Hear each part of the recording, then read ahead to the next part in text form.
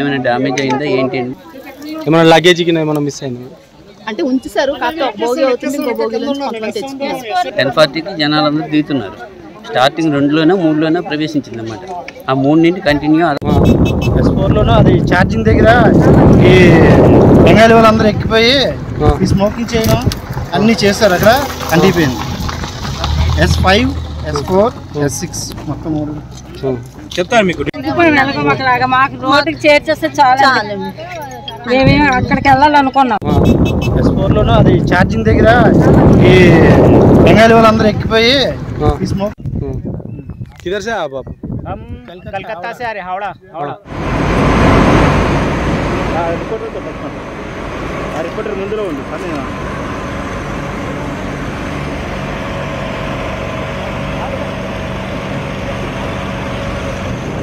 Right ప్రస్తుతం మనం ఘటనాస్థలం నుంచి ప్రత్యక్ష ప్రసారం ద్వారా వీక్షిస్తూ ఉన్నాం. అగ్నిమాపక సిబ్బంది అక్కడికి చేరుకున్నారు. ప్రస్తుతం అక్కడ మంటలు ఆర్పే ప్రయత్నం కూడా చేస్తున్నారు. పూర్తి స్థాయిలో మంటలు అదుపులోకి వచ్చినట్టుగా అక్కడి నుంచి అందుతున్న సమాచారం. అయితే మిగతా బోగిల్ని మంటలు అంటుకొని బోగిల్ని సికింద్రాబాద్ స్టేషన్కి తరలించిన సిచ్యువేషన్ అయితే ఉంది. కొద్దిసేపు క్రితం రైల్వే జీఎం కూడా ఘటనా స్థలానికి చేరుకున్నారు. ప్రస్తుతం మనం చూస్తున్న విజువల్స్లో చాలా స్పష్టంగా కాలిపోతున్న బోగీల నుంచి లింక్ విడదీసి మిగతా బోగీల్ని సికింద్రాబాద్ స్టేషన్కి పంపిస్తున్న దృశ్యాలను చూస్తున్నాం.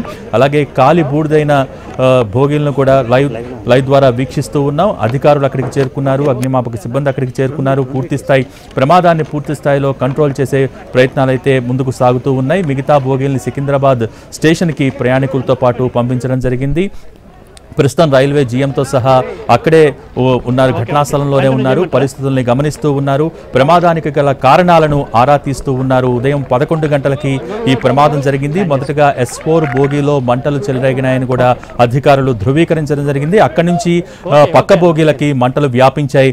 మొత్తం ఆరు బోగీలకు మంటలు వ్యాపించాయి. నాలుగు బోగీలు పూర్తిగా కాలి బూడిదయ్యాయని కూడా కొద్దిసేపటి క్రితం మీడియాతో రైల్వే అధికారులు చెప్పడం జరిగింది. ఇక తాజ్ అక్కడ ఘటనాస్థలం నుంచి తాజా అప్డేట్ అప్డేట్స్ అందించేందుకు మా ప్రతినిధి విజయ్ భాస్కర్ లైవ్ ద్వారా సిద్ధంగా ఉన్నారు. విజయ్ భాస్కర్ భోగి హౌరా హౌరా నుండి సికింద్రాబాద్ వెళ్ళే సూపర్ ఫాస్ట్ ఎక్స్ప్రెస్ కొద్దిసేపటి సికింద్రాబాద్ వెళ్ళే ఏ, సూపర్ ఫాస్ట్ ఎక్స్ప్రెస్ ఈ కొద్దిసేపటి క్రితం పగడిపల్లి వద్ద అగ్ని ప్రమాదానికి గురైంది. ఎస్ త్రీ బోగిలో ఏర్పడిన షార్ట్ సర్క్యూట్ కారణంగానే ఈ ప్రమాదం జరిగినట్లు కూడా మనకు తెలుస్తుంది. ప్రస్తుతం ఎక్కడైతే ఆ, బోగీలు దగ్ధమయ్యాయో ఆ దగ్ధమైన బోగీలన్నింటినీ కూడా మెయిన్ ట్రైన్ నుంచి వేరు చేసిన పరిస్థితి మనకు స్పష్టంగా కనపడతా ఉంది. ఫైర్ ఇంజన్లు ఇప్పటికే నాలుగు ఫైర్ ఇంజన్లు చేరుకున్నాయి.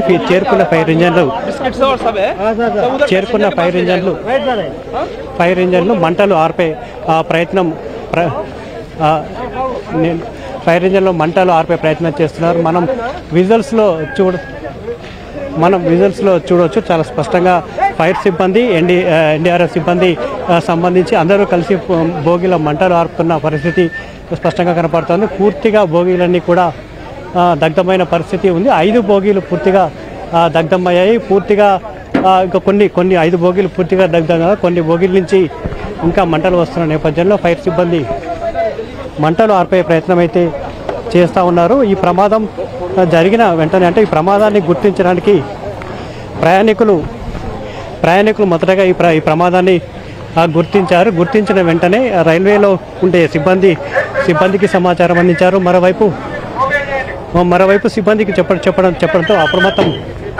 అప్రమత్తమయ్యారు. అప్రమత్తమైన అధికారులు వెంటనే రైలు నిలిపివేయడంతో పెద్ద ప్రమాదం పెద్ద పెద్ద ప్రమాదం తప్పిందని మనం చెప్పుకోవచ్చు. ఇదే కనుక ఒక రెండు మూడు గంటల ముందు జరిగి ఉంటే వారిగా ఆస్తి నష్టం ఆస్తి ఆస్తి నష్టం కూడా జరిగేదని మనం చెప్పుకోవచ్చు. మనం ఇక్కడ కొంతమంది అధికారులు ఉన్నారు వారితో మాట్లాడే మాట్లాడే ప్రయత్నం చేద్దాం. ఎలా ఈ ఈ ప్రమాదం ఎలా జరిగింది? దీనికి సంబంధించి ఒకసారి సార్ ఏంటి ప్రమాదం ఎలా జరిగింది? మంటలు ఎలా ప్రమాదం అంటే ట్రైన్లో షార్ట్ సర్క్యూట్ వల్ల జరిగింది.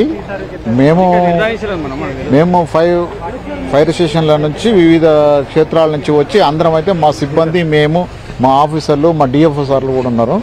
అయితే మేము ముఖ్యంగా ఏంటంటే ఇప్పుడు ఫైర్ ఆర్పనికే ప్రయత్నం చేస్తున్నాం అంతే. అంటే మీరు వచ్చి మీరు వచ్చే సమయానికి ఎన్ని బోగీలు దగ్ధమవుతున్న పరిస్థితి ఉంది? అవుతున్నాయి ఆరు బోగీలకు అంటుకుంది మేము అన్ని కంట్రోల్ చేసాం ఆల్రెడీ మూడు బోగీలు కూడా సేవ్ అయిపోయినాయి. అంటే చాలా బోగీలు ఉన్నాయి వాటిని ఎలా డీలింగ్ చేశారు? అందులోకి మంటలు మంటలు వ్యాపించకుండా ఎలాంటి చర్యలు తీసుకున్నారు? మేము వచ్చిన కాంచి కృషి చేస్తూనే ఉన్నాం అట్లా. ఎంతమంది సిబ్బంది ఉన్నారు? ఎలా మంటలు ఆర్పడానికి ఎలాంటి చర్యలు తీసుకున్నారు water water and foams spray చేస్తున్నాం అనమాట అంటే పైన మన కరెంట్ కరెంట్ బంద్ చేయలేదు కాబట్టి కొంచెం గాప్యం వచ్చినందుకు కొంచెం లేట్ అయ్యేది. ఆ కరెంట్ బంద్ చేసిన తర్వాతనే మేము వర్క్ స్టార్ట్ చేసినాం సార్. దాని తర్వాత మూడు సేవ్ చేసుకున్నాం అనమాట అక్కడ. అంటే మొత్తం కంట్రోల్ రావడానికి ఎంతసేపు పడుతుంది? ఇంకొక టూ అవర్స్ పడచ్చు అంటే మిగిలిన బోగిలకు వ్యాపించే అవకాశం ఉందన్నమాట లేదు సార్ డిస్కౌంట్ చేసే సార్. డిస్కౌంట్ చేసేసి ఆ మూడు డిస్కౌంట్ చేశాను అనమాట అక్కడ. వెళ్ళిపోయాను.